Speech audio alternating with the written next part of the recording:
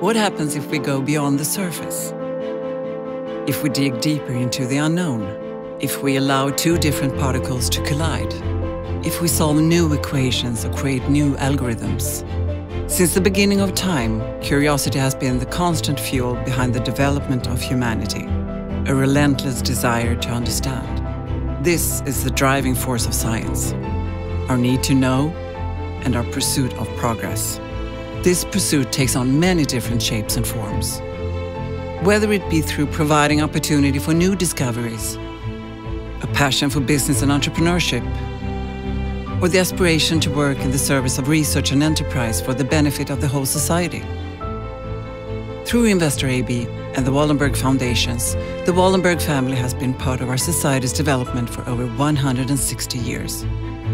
It all started with my great-great-grandfather, André Oscar. In 1856, he started the first private branch bank in Sweden, today known as SEB.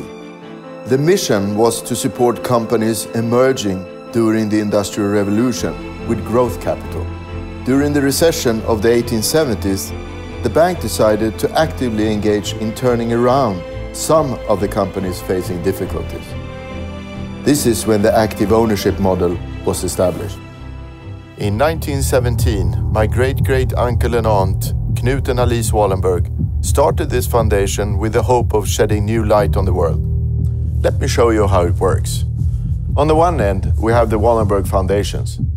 Assets from the foundations are invested through FAM and Investor in leading Nordic-based companies through long-term engaged ownership.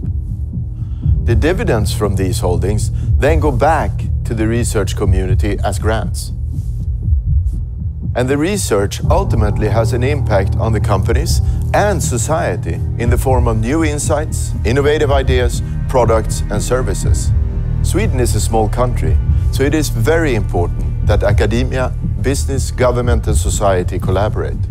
Here, we are proud to do our part by finding and funding joint projects.